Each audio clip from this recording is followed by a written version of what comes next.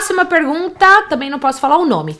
Gi, muito obrigada pelos vídeos. Estou conseguindo ver meus erros e mudar minhas atitudes. Uou, isso é uau. Ainda tenho uma dúvida: como agir com pessoas que somos obrigados a conviver, mas sabemos que na frente nos tratam bem, porém pelas costas falam mal? Descobri da pior forma possível que minha sogra faz isso. Hoje é o dia da sogra, hein?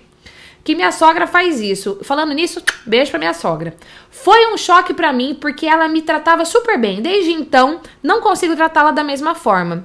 Me afastei a quase e quase não olho para ela quando vou na casa dela. Sempre fujo da conversa quando ela está junto, o que a reforça a falar mais mal de mim agora. Se puder me responder como agir, te agradeço. Beijos. Vamos lá, ponto por ponto aqui dessa pergunta. Pera aí.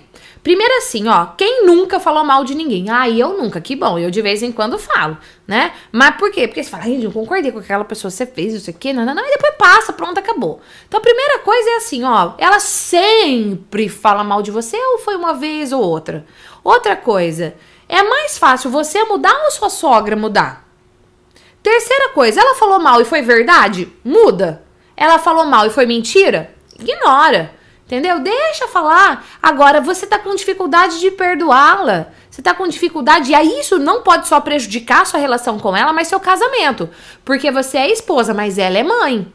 E mãe, mãe é mãe, é mãe é mãe pra vida inteira, entendeu? Esposa, você troca de esposa, se for o caso. Então, assim, busca cuidar, busca olhar para ela com outros olhos. Eu gosto de falar que às vezes a gente tem que olhar para o ser humano o que tá por trás do comportamento, sabe? O que tá por baixo do por que, que aquela pessoa fez aquilo. Olhe para ela com amor, olhe para ela com respeito. E eu tenho certeza que o seu relacionamento com ela e com o seu esposo vai melhorar.